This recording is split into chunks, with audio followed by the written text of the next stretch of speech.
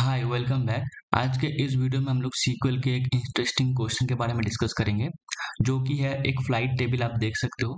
Flight table के अंदर हमें सीआईडी है और फ़्लाइट आईडी है एंड ओरिजिन एंड डेस्टिनेशन है। तो if I compare this is the इस रो को अगर देखें तो दिस आप देख सकते हैं origin is Delhi to Hyderabad and origin Hyderabad to Bangalore तो हमें डेटा इस तरीके से दिखाना है like C I D equals to one origin equals to Delhi and destination equals to Bangalore तो हम इस तर, इसको किस तरीके से करेंगे? हम सिंपली अगर फ़्लाइट को अगर सेल्फ ज्वाइन यूज़ करें मैं टेबल को दो बार रन कर रहा हूँ। यू कैन सी तो आप देख सकते हो अगर हम इसे ज्वाइन लगाना है तो हम सीआईडी के साथ सीआईडी का ज्वाइन लगाएँगे। एंड हम फ़्लाइट जो है इसका डेस्टिनेशन हैदराबाद एंड इसका origin is the Hyderabad. Both are the same तो हम इसका डेस्टिनेशन के साथ इसका ओरिजिन का हम ज्वाइन लगाएँगे। तो चलिए इसको रन करते हैं पहले।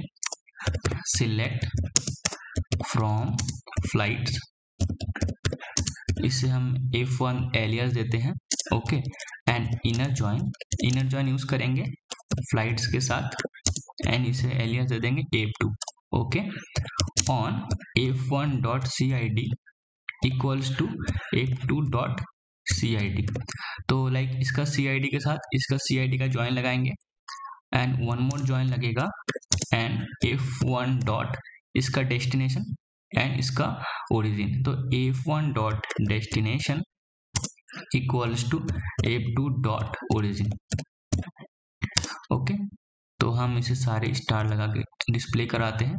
अगर हम इसे रन करें तो you can see C I D equals to one flight I D and flight I D two यहाँ पे है। तो ओरिजिन इक्वल्स टू डेली और डेस्टिनेशन इक्वल्स टू बैंगलोर तो हमें क्या करना है?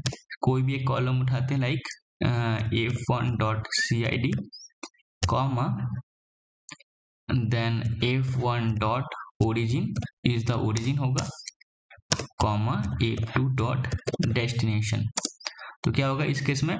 Origin Delhi to Bangalore and Mumbai to Kolkata if I run this table also तो आप देख सकते हो this is the one customer ID and Delhi to Bangalore, Delhi to Bangalore and second case Mumbai to Kolkata. तो Mumbai to Kolkata. तो आज के इस वीडियो में इतना है। अगर वीडियो पसंद आया तो प्लीज़ वीडियो को लाइक करें। अगर आप इस चैनल पहली बार विज़िट करें तो प्लीज़ सब्सक्राइब दिस चैनल तो मिलते हैं नेक्स्ट ऐसे ही कुछ इंटरेस्टिंग क्वेश्चन को लेकर गुड बाय